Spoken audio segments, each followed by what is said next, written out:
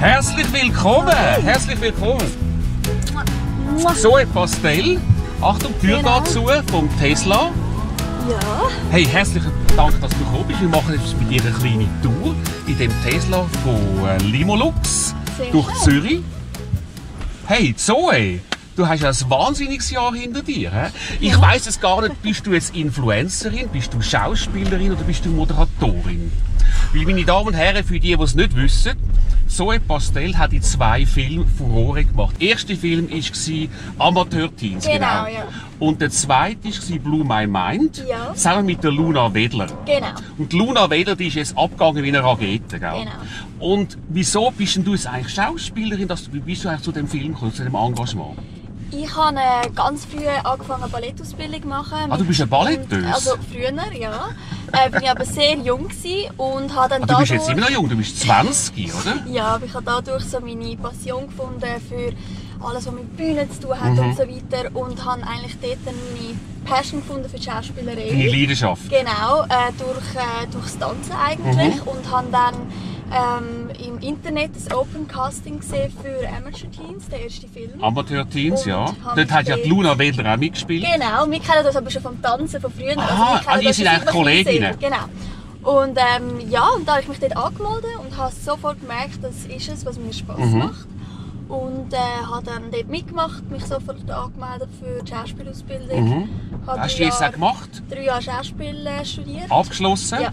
Sehr. Also bist du eigentlich anerkannte, ausgebildete Schauspielerin. Ja, kann man so sagen. Und wo hast du das gemacht, die Ausbildung? An der European Film Actor School In? in Zürich. In aber Zürich? deutsche Filmschule. Ah, okay. Und nach dem Amateur-Teens, wo sehr erfolgreich war, haben sie gefunden, okay, jetzt nehmen wir dich auch noch fürs Blue My Mind. Wie heisst? Was Aber sag jetzt mal, wieso ist denn die Luna Wedler abgegangen wie eine Rakete? Und du hast dort eigentlich eine Nebenrolle gehabt, oder?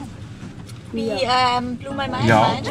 Ja, man kann sagen, zweite Hauptrolle. Zweite Hauptrolle, ja. Wie, wie auch immer. Wieso ist denn jetzt die Luna Wedler so abgegangen und du bei dir ist es eher ein bisschen, ja, ein bisschen verhalten gewesen, das Echo, oder? Ja.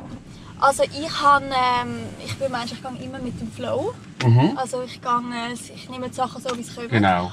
Und Also du bist nicht so dann- karrierepragmatisch. Mal, da. mal schon, aber ähm, ich, ich lasse mich auch so ein bisschen gehen, wenn Fliessen. etwas gut läuft, sozusagen. Mhm, ja. Und die Luna ist, soviel ich weiß, recht schnell auf Berlin und hat sich dort ähm, als anerkannte Schauspielerin Mhm. eigentlich äh, können durchsetzen und bei mir hat es boomt auf Instagram. Mhm. Ähm, es sind Job, also nach der Ausbildung, es sind so viele Jobanfragen reingekommen, dass ich gefunden habe, hey, wieso eigentlich nicht? Weil Fashion ist auch etwas, was mich mega interessiert, Lifestyle, äh, Inspiration Mhm. Weitergeben und so weiter. Und habe das jetzt einfach mal gemacht, ohne eigentlich viel, also ohne viel Also dir ist es fast ein bisschen in den Schoss gefallen.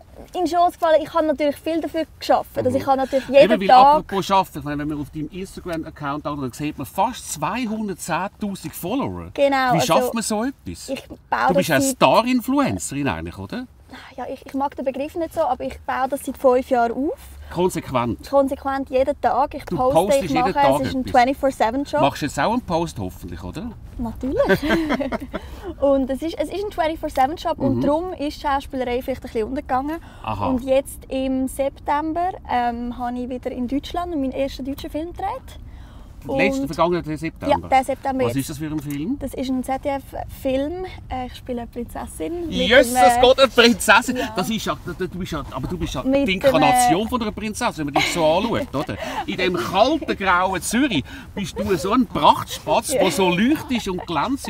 Also eine Prinzessin, das ist einfach genau dein Begriff. Ja, ja, es ist, es ist ein super cooler Dreh mit super coolem Cast, mit dem Ken Duken, Jürgen Vogel, Mhm. Jürgen Vogel, hervorragender Ähm, Schauspieler. ja, es hat hervorragende Schauspieler dabei gehabt und jetzt bin ich wieder so ein bisschen mehr fokussiert auf Schauspielerei. Helfen tut dir ja eigentlich dein. Bruder, der Kai, oder? Genau. Der tut sich jetzt ein bisschen um dich kümmern, oder? Genau. Dein älterer Bruder, der jetzt Psychologie studiert, der fast keine Zeit mehr hat, um an die Uni zu gehen, weil du so viele Ja, Aufträge hast, tut mir leid, Kai.